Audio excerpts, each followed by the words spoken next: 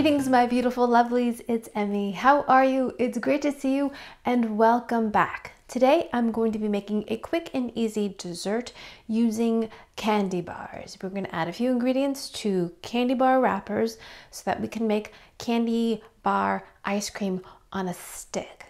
Sounds delicious, right? But what I really love is that you don't need any special molds. You don't need a popsicle mold that will sit in your pantry all winter long because you're not making popsicles when it's cold.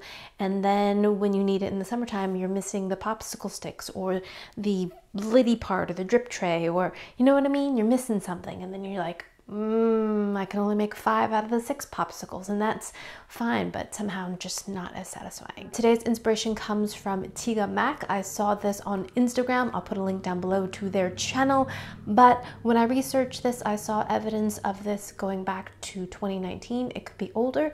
Let me know down in the comments if you've been doing this forever or any other references I should know about. But yeah, I saw it and I knew I needed to try it for myself. So let's go ahead and get started. So we need to make some ice cream base. I have seen some other versions of this using just milk, but if we just freeze milk, it's going to be very icy. We're truly going to have a popsicle. And we want something more like an ice cream, which has more sugar in it, usually some kind of cream, if not custard, as in some sort of egg. We're not doing any of that. We're doing a version of the no churn ice cream. If you haven't seen that video, I have made a few different ones. I believe I made a mustard flavored Yes, French's Yellow mustard flavored ice cream using the no churn method. I'll put a link to that down below. This recipe contains only four ingredients, three of which go into the ice cream base. So to a two cup measuring cup, we want half a can of condensed milk. So that's 200 grams. So we have our condensed milk, and to that we're going to add 300 milliliters of heavy cream blunk, and a little splash of vanilla extract. Boop. So to help incorporate the thick condensed milk, I'm going to use a whisk and blend this up. And there we go. That's it. So simple. Ice cream base finished. Next, we're to need a selection of candy bars. I've never done this recipe before, so I grabbed a few different kinds because I want to know what the flavors will be. In the video I saw, Tigga Mac uses a Crunchie bar, which is made by Cadbury, and it's not really commonly found here in the States. And a Crunchie bar, from my understanding and from my remembrance, is made with chocolate on the outside and inside has honeycomb. So in that vein, I imagine that the candy bar will crumble very easily. So I got a Butterfinger as a bit of a substitute. But I also got some other flavors because I thought these might be interesting. Crunch, Good Bar. I also did a Twix, which I'm going to try. And mint bar because I love mint. So all we need to do is crush the candy bar. It's important when we crush our candy bar to do this kind of gently because we want to kind of maintain the integrity of the bag. We're trying to avoid any leaks because this is going to be our mold. A Butterfinger is a chocolate coated peanut butter flavored candy bar. That's what it looks like inside. It's kind of orange in color and it's pretty light and crunchy. So I'm going to do a preliminary snap snap and then a crush. Sorry for the noise.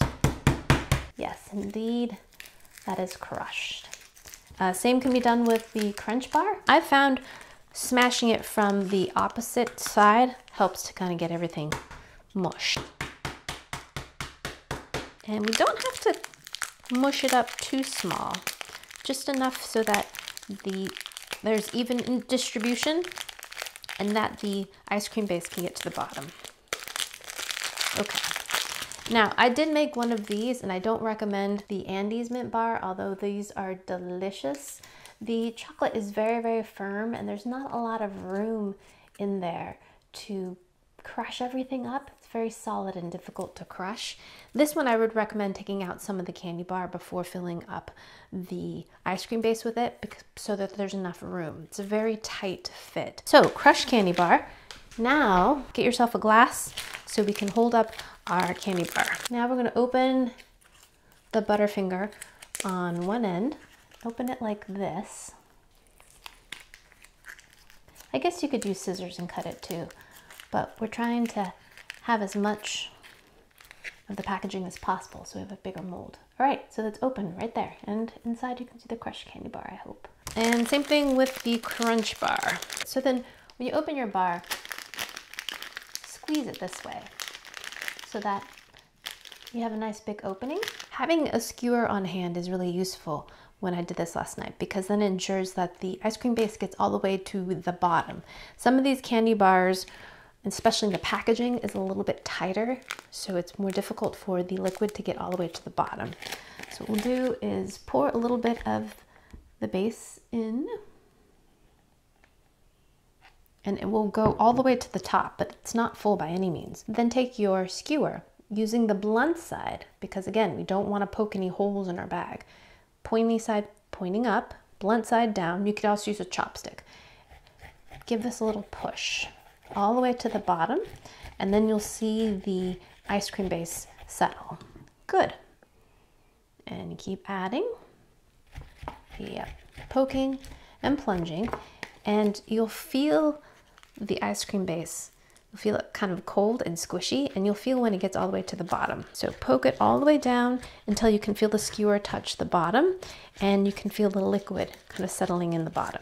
This is more important for these narrow candy bars. For these candy bars that have a bigger package, it's much easier to feel the ice cream base settle to the bottom. So let me show that one. Much easier to fill too. So that I can feel goes straight to the bottom.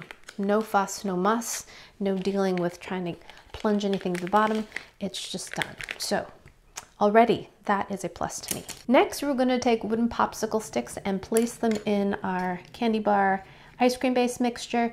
I happen to have little apple sticks. If you don't have either one, you could certainly even use plastic spoon or plastic fork or something, something that will give your popsicle a handle. Okay, so now we take this whole special rig and put it into your freezer and freeze it for several hours, if not overnight.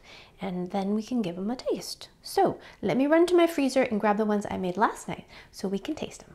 Okay, be right back. Alrighty, lovelies, the candy bars that are now ice cream bars are here frozen solid and let's give them a taste. I cannot wait to open these to see what they look like. Let's taste the Butterfinger.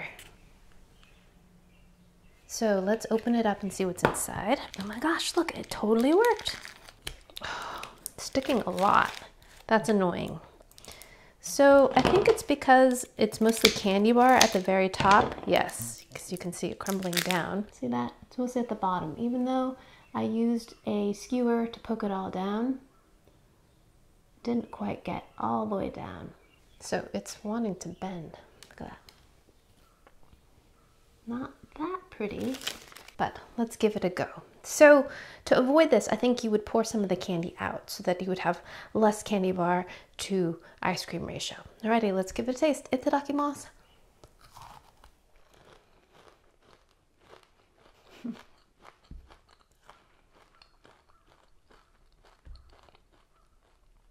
I have not had a Butterfinger in I don't know how long, but that bite was all Butterfinger. Very peanut buttery, very crumbly yet crunchy texture, a little bit salty, a little butterscotchy as well. And of course, just a light coating of chocolate on the outside. Didn't get any ice cream in that at all. So if you make the Butterfinger version, I recommend empty out half of the candy bar from the package because you can't get the ice cream to the bottom. So I'm gonna rip that part off and I'm gonna taste this part down here that has the ice cream. Here we go. Mm-hmm. Mmm. Now we got it. And that's delicious too. That's ice cream, great vanilla flavor, enough sweetness from the condensed milk to make it dessert-like. The heavy cream adds some nice richness. And then you get a nice peanut buttery flavor from the candy bar, which gets infused in the ice cream. Delicious. Next, let's try one of the big ones. Let's try a Twix. Doesn't that look great? Twix bar. And look at that one. Okay, that looks great. Alrighty, Twix bar, itadakimasu. Mmm. Mmm.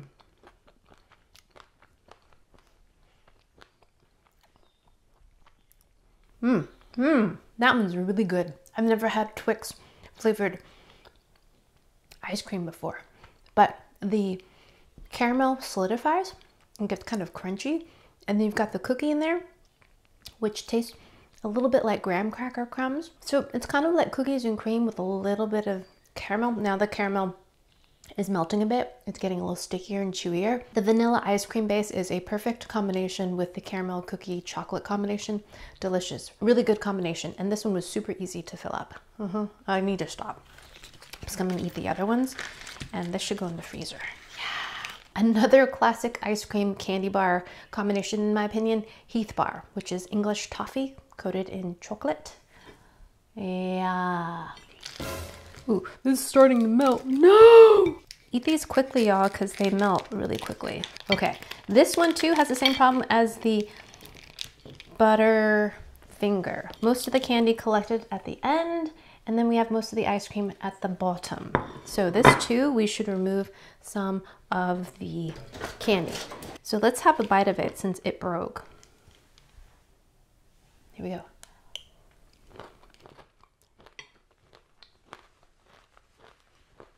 Mmm.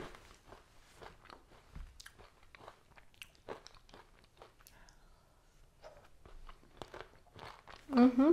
I forgot to mention in the other taste test that the ice cream base is great. It doesn't feel icy at all and is plenty rich and both feels and tastes like ice cream. This combination, I have to say, is a little bit too sweet for me. Ice cream base is very sweet and vanilla, and I thought I would love the combination with toffee and chocolate. And I do, it's just too sweet. So I think I would add maybe a third of the toffee bits. So just have a third of the candy bar in there with the ice cream base because the entire candy bar is just way too sweet and heavy. Alrighty, I'm just gonna continue. Let's try the Andes mint. As some of you may know, mint chip is my favorite combination. And based on how it was for the other long bars, I think this one's gonna be hard to extricate as well. This one is very melty as well. See? All right, let's give this one a taste. Mmm. Mmm.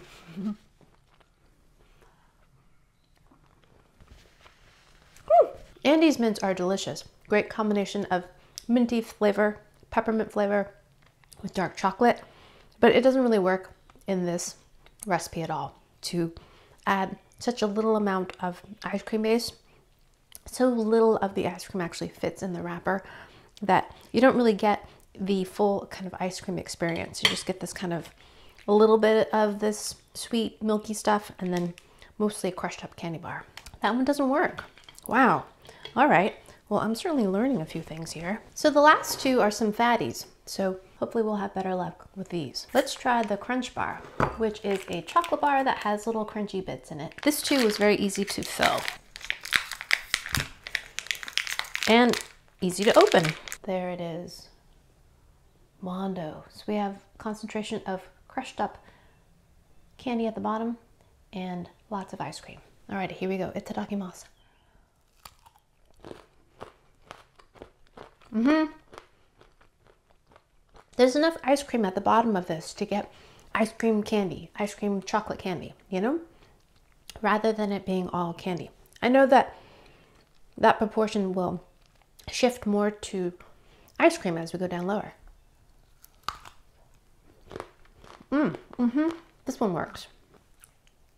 Wow, a lot of chocolate in there. The crunch of the chocolate bar goes really well with the creamy vanilla ice cream. Yes, this one's a winner. Alrighty, lastly, a Mr. Good bar.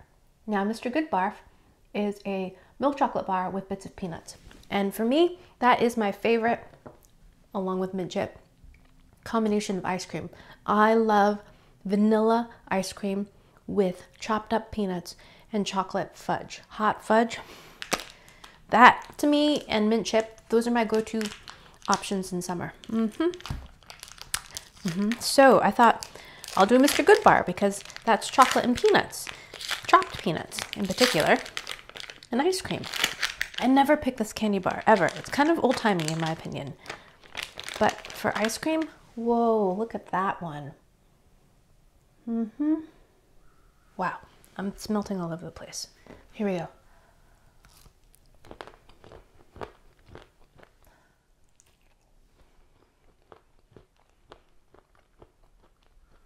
Mm-hmm. Mm. This one is a classic flavor combination for me. You know what it reminds me of?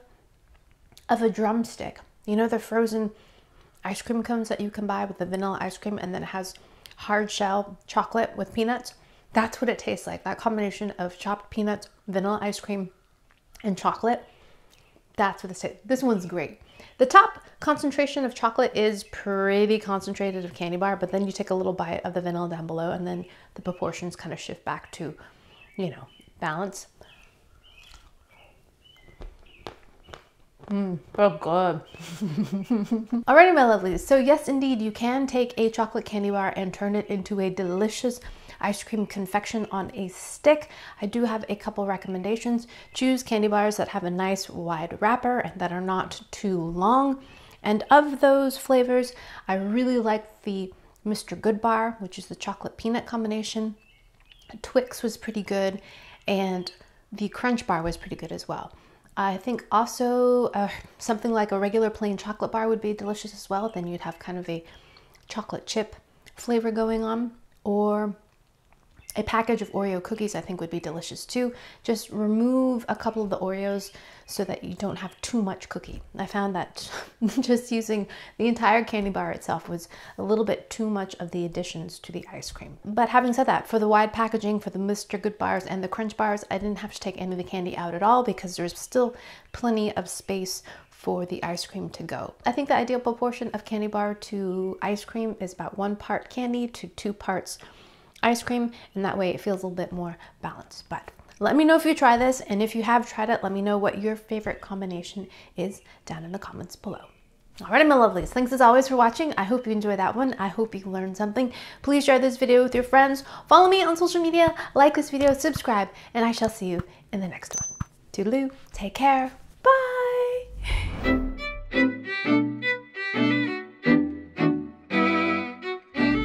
So now that I've had dessert, what's for lunch?